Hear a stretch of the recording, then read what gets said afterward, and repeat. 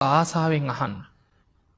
මං කොහොම හරි මේ අපායින් ගැලවෙනවා කියන වීරිය හිතට ගන්න. කවුරුත් නෑ ඔබ බේරගන්න. නෑදෑයෝ දරුවෝ ඥාතීන් යාලුවෝ දැන්නම් ඇති.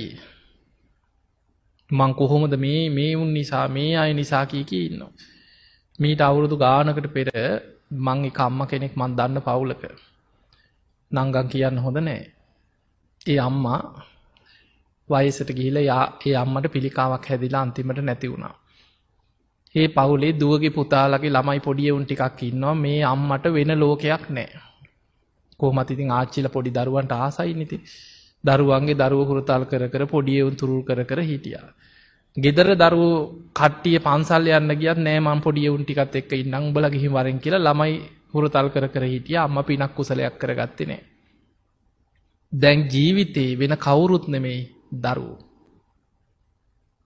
ඒ අම්මා මරණාසන්න වෙච්ච වෙලාවේ ඊට පස්සේ මේ මමත් ගියා පිරිට්ටිකක් හරි කියන්න කියලා පුද්දුම ජීවිතය. ඒ අම්මට පිරිත් අහන්නවත් බණක් අහන්නවත් පිරිකර පූජ කරන්නවත් ඔළුවේ නෑ.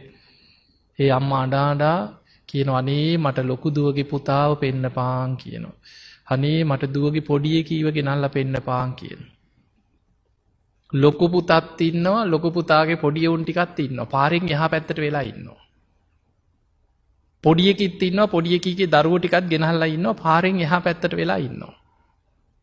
මේ අම්ම කියෝන අනේ මට මැරෙන්න්න කලින් පොඩියකා බලන්න ඕනෑ අනේ මට පොඩිදුවගේ පොඩියකී බලන්න ඕනෑ අම්මළඟට ගේන්නෑ ඇයි මැරෙනකොට ළමයින්ට ආසාාව ඇති වෙලා මැරිල ළමයි පස්සේ කියලා බයයි. ඉන්නකං අම්මට දුන්න ළමයිටික බලාගන්න දැන් අම්ම මැරෙනකන් දරුවටික තියායන පාරෙන් එහා පැත්තට වෙලා ඉන්නවා. පණ යනකා. ජීවිතවල හැටිඔය. කවුරුත් නෑ ඔබට. ඔබ අසරණ වෙනකොට ඔබ විතරයි. අපි දන්න අපි ළඟට ඇවිල සමහර දරුව අපිට කියන දේවල්.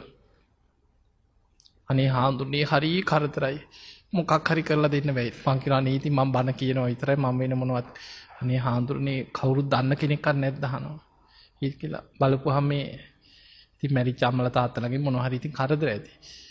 අල්ලන්න පැක් කරන්න බෝතල් කරන්න හොයන්නුවේ.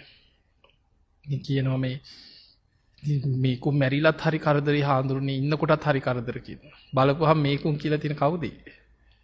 ඕක තමයි ජීවිතේ. ඒ නිසා ඔබ හිතන්න ඔබට ඔබ විතරයි.